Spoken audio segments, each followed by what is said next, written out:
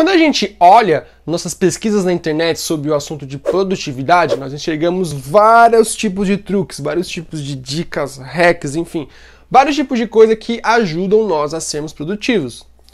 E nesse vídeo eu vou te dar duas dicas simples, fáceis e óbvias para que você consiga ser mais produtivo em suas coisas, em sua rotina como um todo, tá bom? Então, se você curtiu o tema do vídeo, se você quer saber quais são essas duas dicas muito simples, fáceis, que você pode estar aplicando hoje elas, vem comigo que nesse vídeo eu te explico um pouco sobre elas e eu destrincho um pouco sobre esses assuntos para você, tá bom? Esqueci de novo. Editor, bota a vinheta aí no vídeo, beleza? Focado, persistente, dedicado.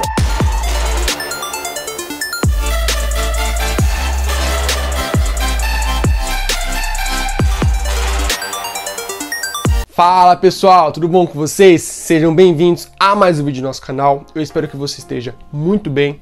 Eu me chamo Renan, Renan Alves, e nesse vídeo trago a vocês duas dicas muito importantes para que você consiga ser muito mais produtivo, seja duas ou até três vezes mais do que você já é, tá bom? E o mais importante, deixa o like no vídeo, tá bom? É aqui embaixo, curtiu, um segundinho, não mata ninguém, você vai ajudar muito a gente com o YouTube, e aí vamos poder trazer mais vídeos para vocês. Então, aqui embaixo, deixa o like e é isso. Fechou? Bom, a gente sabe que o dia tem 24 horas, mas por que que algumas pessoas parecem que no dia delas elas fazem muito mais coisas em parece que nem é 24 horas, né? E a gente não consegue chegar nesse nível de produção, né?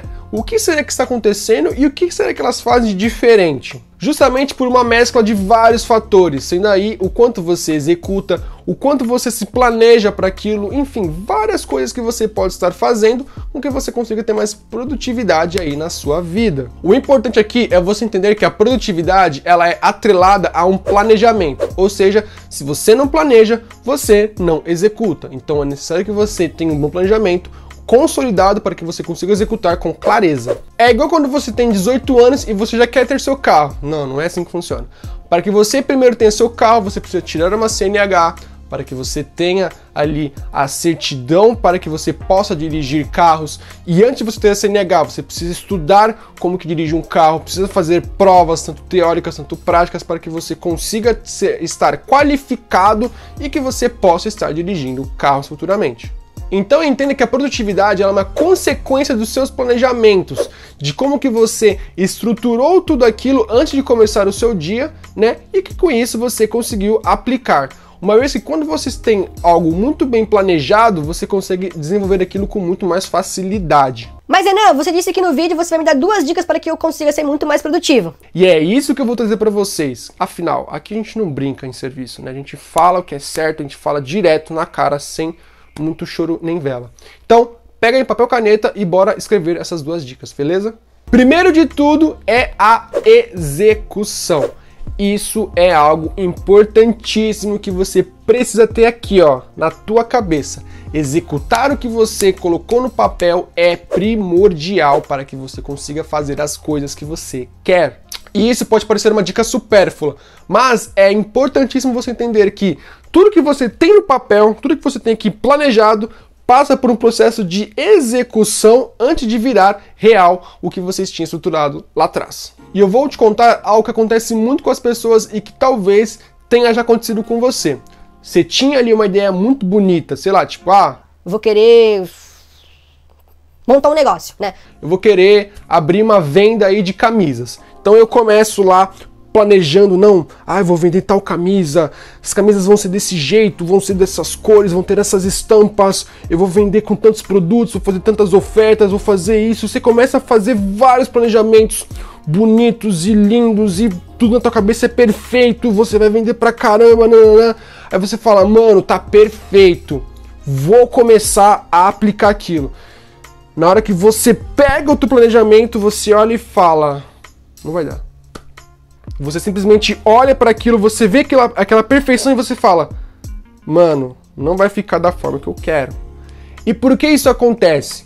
Porque muitas vezes você fica tanto no receio de que você executou no papel é tão bonito, é tão perfeito, é tão ali, meu, um paraíso, que você fala assim: Meu, eu não vou conseguir fazer daquela mesma forma, não vai sair legal, vai acontecer alguma coisa, vai acontecer algum erro, meu, vai dar ruim, esquece, esquece. Não, vou deixar aquilo de canto.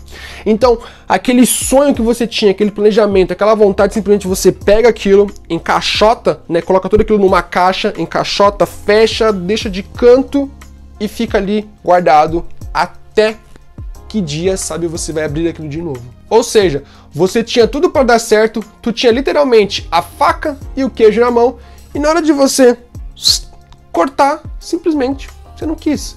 Você deixou de lado. Você achou que não era o momento. Você pensou que não ia dar certo, né? E você pode estar ali guardando o próximo Uber, o próximo Airbnb, o próximo Spotify, a próxima Netflix, porque justamente você achou que não era competente. Justamente você achou que não era o momento exato. Justamente você achou que não ia dar certo, né? E engraçado que essa parte de você achar que não vai dar certo, ela casa com a parte do planejamento. Ou seja, para que você veja se seu planejamento está correto e que você consiga refinar ele ao longo do caminho, é justamente executando. Não existe forma melhor do que você saber se o que você fez lá atrás está certo quando você aplica aquilo, quando você está ali no campo, na zona de guerra, você está ali no campo de batalha vendo, pô, isso aqui que eu fiz não é desse jeito, dessa forma. Pô, isso aqui que eu estou fazendo pode ser feito dessa maneira. Então você vai ajustando todo o teu planejamento conforme você vai executando isso. Quando você coloca a mão na massa, você vê que os detalhes que você estava fazendo eles podem estar certos e podem estar errados. Os certos você vai estar mantendo e os errados você vai estar corrigindo, né? Pô, as camisas eu preciso comprar com três fornecedores, porque se eu compro com um, ele pode falhar comigo, pode chegar atrasado, então preciso comprar com dois ou três. Pô, eu vejo que o meu público gosta mais de camisas vermelhas, camisas azuis, então vou comprar mais isso, né? E eu vejo que também gostam de camisas com mais estampa, então vou trabalhar mais essas estampas. Poxa, eu vi que se eu colocar uma promoção extra ou uma oferta, eu consigo também vender melhor, porque vai atrair mais meu público. Entende que você vai tendo ideias ao longo da sua execução e essas ideias vão melhorando o teu planejamento? Então, antes você tinha uma ideia, né? Agora que você executa ela, você consegue ver que aquela ideia faz sentido e que você pode ainda mais melhorar aquilo que você tinha feito lá atrás.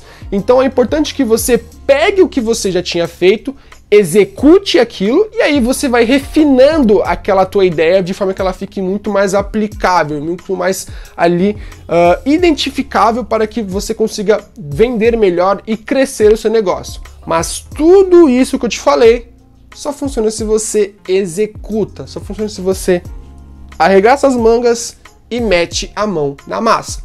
Esse é um dos principais pontos que você pode estar fazendo com que seus níveis de produtividade cresçam. Você executar. Não ficar de choro nem vela, não ficar postergando, não ficar prorrogando, nada, nada, nada.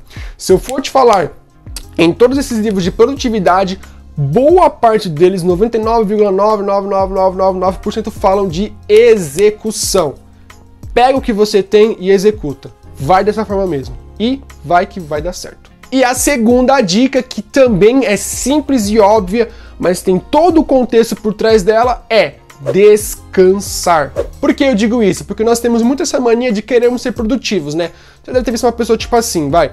Ah, eu preciso hoje ler um livro. Ah, eu preciso começar tal podcast. Ah, eu preciso começar a ler um artigo. Ah, eu preciso começar a fazer aquilo. Isso. E quando você vai ver, essa pessoa, ela pensa em várias coisas, só que você não consegue ali dar norte para o que você realmente precisa fazer. Entenda que a produtividade ela é atrelada sim a uma execução, como eu falei para você lá atrás. É preciso que você execute, mas também é necessário que você saiba executar de uma forma assertiva, que você saiba começar aquilo ter um meio, um desenvolvimento e um final para isso. Não você começar alguma coisa, deixar pelo meio e jogar fora, ou começar e não finalizar, ou pior ainda, você fazer aquilo e fazer de uma forma ruim, de uma forma péssima. Então você precisa entender que quando você executa alguma coisa, algum plano, algum projeto, você precisa parar aquilo, executou, finalizou, risca da tua lista, descansa um pouco e vai fazer alguma outra coisa depois. E quando eu falo descansar, é literalmente você descansar, você esquecer aquilo e fazer outras coisas, coisas que vão fazer com que você relaxe sua cabeça. Imagina que você teve um dia ali cansativo no seu trabalho, você conseguiu fazer várias outras coisas, riscou toda a tua lista, ficou perfeitinha, tu finalizou boa parte do que você precisava fazer. E aí você vai chegar em casa, você vai trabalhar mais ainda? Não, não funciona assim. Você tem que chegar na sua casa e descansar, esquecer toda aquela parte que você fez no trabalho, porque o trabalho fica no trabalho, né? Descansa a tua cabeça e vai fazer outras coisas, né? E aí você pode começar a fazer um descanso para tua cabeça, tipo fazendo uma academia, lendo algum livro, tomando um banho quente, um banho frio, enfim, para desestressar a tua cabeça, ficando perto dos seus amigos, ficando perto da sua família, fazendo coisas que você gosta, porque justamente o tanto que você tinha que ser produtivo e tanto que você tinha que executar, já estava lá atrás. Você já fez aquilo, você já executou, tu já matou o que você tinha que matar lá atrás. Agora, deixa aquilo de canto, esquece um pouco aquilo e foca em você. Foca em cuidar da tua cabeça, da tua mente. Pensa assim comigo, que nessa pandemia que nós estamos enfrentando, tem pessoas que estão trabalhando 8, 10, 12, 14, 16 horas no seu dia a dia. E se essas pessoas elas não pararem para descansar e ficarem reféns da produtividade, elas vão ficar ali trabalhando de forma tão constante que para elas vai ser normal. Só que esse é o mal pequeno que vai crescendo na tua cabeça. Essa sua necessidade de fazer e fazer e fazer. E vai chegar uma hora que você vai começar a meio que dar uma pane no teu sistema. Ele vai meio que superaquecer, sabe? É tipo quando o motor de um carro, quando ele superaquece, ele não dá ruim. Ou, sei lá, um processador de um PC que também é superaquece dá ruim? É bem isso na cabeça. Ela vai ficar ali trabalhando, trabalhando, trabalhando, vai superaquecer e aí vai dar ruim para você. Portanto, entenda que quando eu falo de descansar, eu não estou chamando você de preguiçoso, muito pelo contrário. Eu quero que você entenda que você precisa ter os seus momentos, os momentos de descanso, os momentos de lazer, dormir ali suas 6 a 8 horas por dia para que você consiga descansar e no outro dia você acorde e consiga executar melhor seus projetos, seus planos, né? Ou seja, entenda que para que você seja uma pessoa produtiva, você precisa executar bem e, acima de tudo, descansar bem. Uma mente descansada executa bem, e uma mente que executa bem é uma mente descansada. Portanto, minha dica aqui nesse vídeo é: faça esse equilíbrio, tenha aí essa mescla em sua vida. Execute bastante, mas também descanse bastante para que você consiga aí ter bons níveis de produtividade na sua vida como um todo, tá bom? Bom, pessoal, esse foi o nosso vídeo de hoje, tá bom? Eu espero muito que vocês tenham gostado. Comenta aqui embaixo o que você achou dessas dicas, se você já executou elas, o que você sabe delas, o que você já fez, enfim. Comenta aqui embaixo pra gente conversar um pouquinho, beleza? Também não se esqueça de se inscrever no nosso canal, tá bom? Estamos fazendo vídeo todas as semanas, então se inscreva para que você não perca nossos vídeos, certo? Ative o sininho para que você não perca nossas notificações e deixa o like no vídeo. Vem aqui embaixo, curte o vídeo, vai ajudar a gente bastante, tá bom? Curte o vídeo que é muito importante pra gente. Bom, pessoal, esse foi o nosso vídeo de hoje. Eu espero muito que vocês tenham gostado, tá bom? Um grande abraço, tamo junto e até mais, pessoal. Falou!